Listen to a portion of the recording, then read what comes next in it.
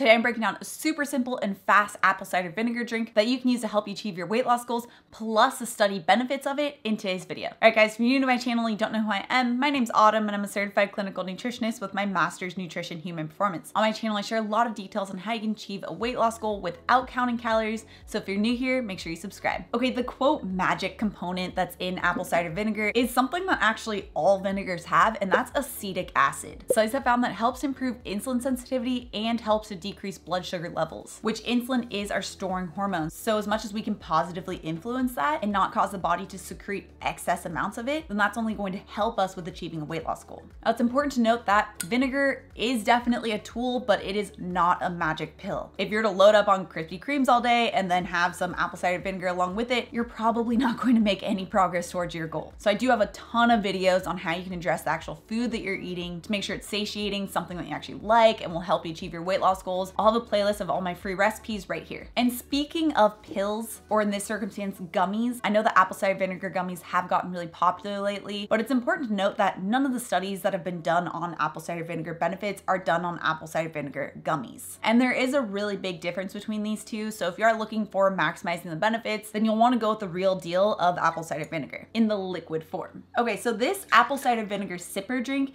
is actually something that's featured in my complete intermittent fasting bundle protocols. So this is one component of the complete intermittent fasting bundle, and I'll make sure to link that down the description below so you guys can check that out. It's important to make sure that this is diluted. You can get quite a bit of GI upset if you aren't diluting it. So I start off with about eight ounces of water, but you could use more if you want. And then I'm going to add in about a tablespoon of the apple cider vinegar. If you don't love the taste and you're trying to work up to the apple cider vinegar, then you could start off with less, so like a teaspoon. So I'm just gonna add this in.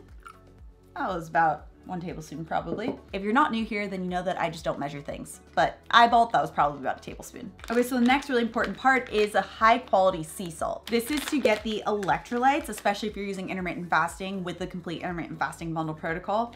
This is really important, helps to balance out electrolytes, which can also be a really important aspect of preventing headaches too. So you can either add this straight in, and I'm using a heavy pinch, which amounts to about an eighth of a teaspoon. So you can add it straight in or just take it along with it. I prefer to just take it, but I know some of the AEN peeps like to add it straight in.